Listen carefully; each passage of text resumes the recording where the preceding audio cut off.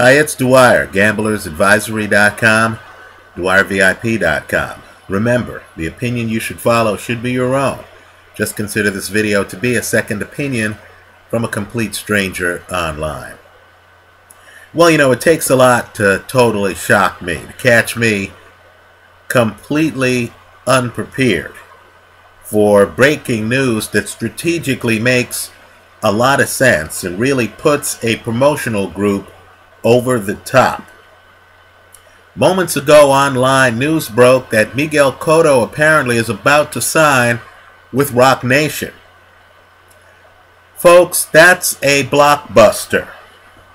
Right? This is the signing, in my opinion, that sets Roc Nation up. Understand, Roc Nation already has the champion at 168 pounds in Andre Ward. Right? You simply cannot be the best at 168 pounds unless you fight Andre Ward. Right now to that stable, they're actually adding a guy who has sold out Madison Square Garden several times. Right? This is a blockbuster of epic proportions. Miguel Cotto is the middleweight champion. Whoever you think is the best at middleweight. Just understand that Cotto is the biggest box office in that division.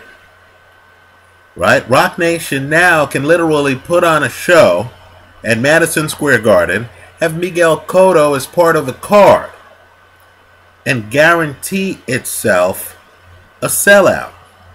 Let me go one step further. Eddie Hearn talked about the idea that Andre Ward doesn't have the box office Carl Froch has in the United Kingdom, right here in the United States. So Eddie Hearn was suggesting that Andre Ward would have to travel to the United Kingdom to fight Carl Froch. Well, understand that argument now evaporates, doesn't it? If you put Miguel Cotto on the same card, you know, as a co-feature with Andre Ward against Carl Froch, you're not only going to have a sellout in New York City, you're going to have an event, right? And so you need to realize, too, that since we're talking about Carl Froch, and I understand Froch and Ward have been given an ultimatum by a sanctioning body. But understand, styles make fights. What I want people to ask themselves style-wise is who would have the foot speed advantage if, and we're just speculating here, right? If Carl Froch were to fight Miguel Cotto, right? I'm telling you that fighting small is an underappreciated skill in boxing. You've had some great heavyweight champions, right? Rocky Marciano, Joe Frazier, Mike Tyson, who were able to get underneath taller guys. Now, Carl is a skilled fighter, but he's not the fastest moving fighter, right? Wouldn't Carl have a problem with Cotto moving around the ring and then jumping in on him? Wouldn't Carl Froch be easier to find? Than Sergio Martinez. Right? Let's drag this out even further. You know, before the Martin Murray fight, Abel Sanchez talked about how he thought Golovkin's toughest opponent was Curtis Stevens.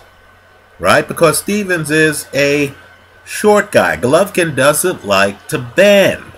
Right? We know Kassim Ouma got underneath Golovkin, gave him problems, right? Got inside Golovkin's shell, right? Golovkin doesn't like when a guy is up close, hitting him with withering body punches.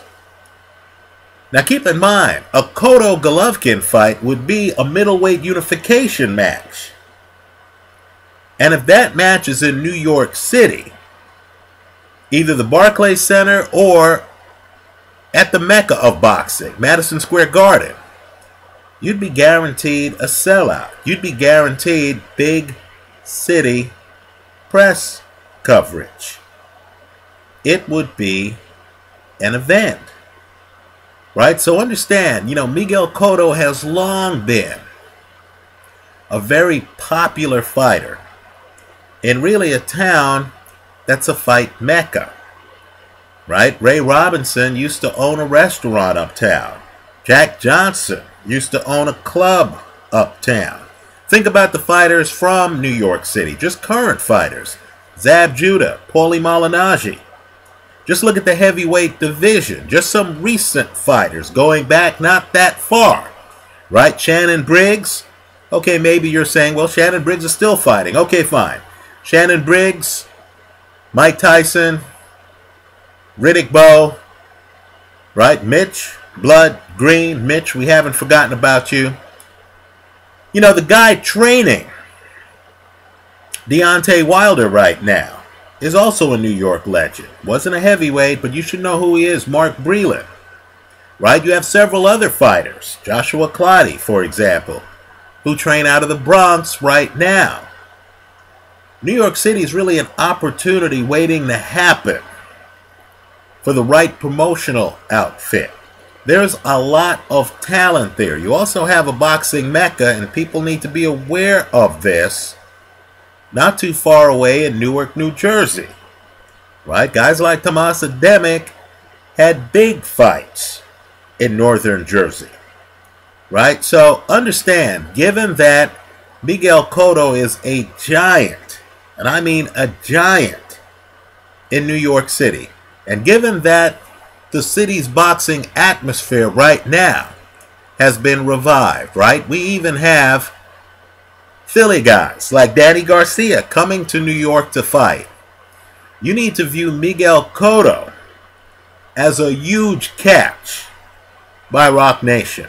They're supposed to announce it on Thursday. Let's hope it happens because this is going to shake up boxing as we know it. Think about it. The same promotional company is going to have a middleweight champ and a super middleweight champ. Right? Think about it. You get Miguel Cotto, he can be the linchpin of any promotion that you do in New York City. Right? If you combine it with right? The Puerto Rican Day Parade and stuff like that. Oh my goodness. That's all I could say about this. So this signing is bigger than most. You've been hearing lately about a lot of fighters signing in a lot of places, right? Just understand this signing stands out. Think it through further. There's several guys lining up to fight Miguel Cotto, right? Saul Alvarez, wants to fight Miguel Cotto. How many hours would it take for Madison Square Garden to sell out for a Saul Alvarez Miguel Cotto fight? By the way, let me take a step back. I'll agree that James Kirkland will have a say in the issue. Right? But my point to you is simply you have big names, you have some venues that are among the most illustrious in the sport's history, right? Madison Square Garden was where Ali Frazier 1 took place, right? Think about it. That fight was so big, they just called it the fight, right?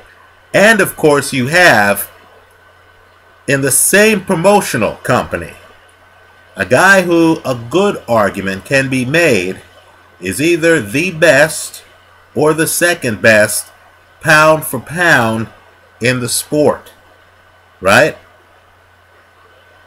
Pay close attention to the signing. I don't have the details on how many years and what else is involved and stuff like that, but just understand this is a huge signing if Cotto, in fact, does join Roc Nation. That'd be a major coup in the boxing promotional world. Let me hear what you think. Leave your comments for me here online I understand there's some other huge fight towns across the United States, right? Philly, I hear you. Chicago, I've been watching, right?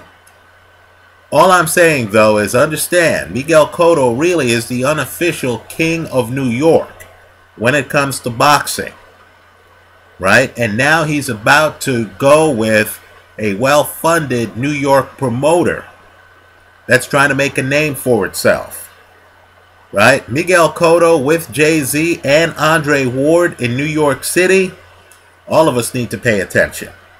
Let me hear from you. Thanks for stopping by.